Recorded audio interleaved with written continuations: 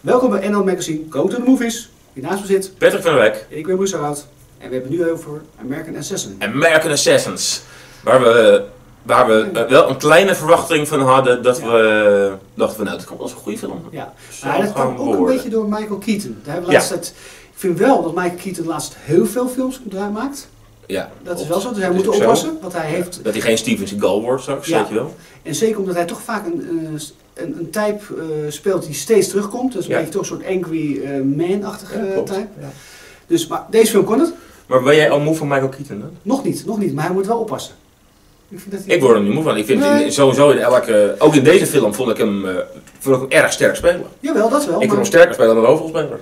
Ja, Laat Ja. ik dat wel zeggen. zeker, zeker. Maar het is ook duidelijk die hoofdrolspeler. Ik ga kijken, zoom op. Dylan O'Brien. Dylan O'Brien, ja. Ik wil hem niet. Ik ken hem niet. Hij is van Maze Runner. Ja, Dat moest ik ook even opzoeken, moet ik zeggen, Ja. want daar ken ik hem ook niet uit. Ik, denk, Nee. ik heb ze gezien, maar ik denk nou niet meteen, oh, dat is die Dylan O'Brien. Nee. nee, dat kan ik niet hangen. Dus het is, het is een jong talent, laat ik zo zeggen. En Ja. dat hij kan groeien hoor. Maar eh, zijn naam is nog niet groot genoeg om de film alleen te dragen. Dus Nee. duidelijk is dat Michael Keaton eh, een belangrijke rol heeft. Klopt, klopt goed. zeker weten. Als hij er niet in zat, Ja, dan wordt het heel was hij nog slechter dan we hem nu eigenlijk al vinden.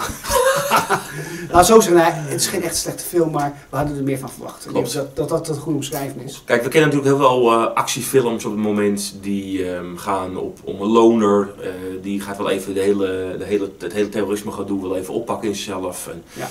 Speciale eenheden, bla bla bla. Maar wat, eh, wat mij het meest opviel, we gaan weer achter een atoombom aan. Ja. En dat is de fucking zoveelste keer al dat Ja. we weer achter een atoombom aangaan. James Ja. Bond-achtig eh, spektakels krijg je nu op deze manier. En het is continu maar, ja, dat is, dat is toch wel dan, zeg maar zeggen. Je zou zeggen, nou, dat, daar zijn, dat hebben we nou, gaan nou eens achter iets anders aan dan achter die atoombom. Ik vond trouwens die openingsscène wel heftig.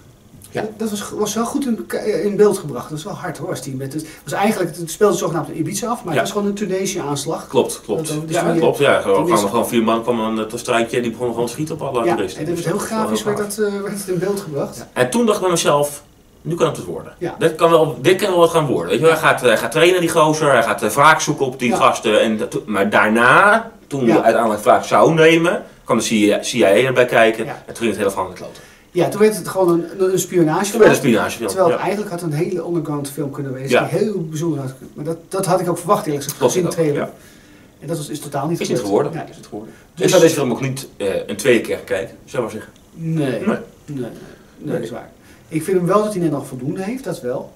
Ik vind hem Ja. geen voldoende, dat wel. Maar zes en voldoende is, zes, ja, is het zes- ook. Ja, ik vind een zesje. Dus Ja. ik, we zeggen nu al het cijfer, maar Zes, ja. ik denk dat je te veel moet uitweiden. Eh, ik wil wel zeggen, het, het einde met die atoombom vond ik wel... eh, Te ver gezocht. ja, en ook wel... Eh, Al was het wel een indrukwekkende scène, ik maar zeggen, zou ik zijn, wel zeggen. Dus Dat eh, dat voor de mensen die het nog willen zien, eh, gaan we dat niet verklappen. Nee. Maar het was wel een hele leuke, Ja. wel een indrukwekkende scène. Dat is waar, hij is wel mooi in beeld gebracht. Ja. Maar voor de rest, eh ik zeg, ik, ga, ik zou er niet echt een speciaal kaartje voor kopen. Nee, nee ik ook niet. Eh, ik zou hem op Netflix misschien een keertje kijken, Ja, omdat ik ervan gehoord heb.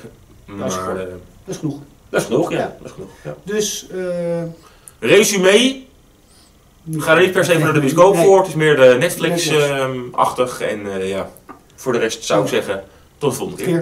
Keer. Doei.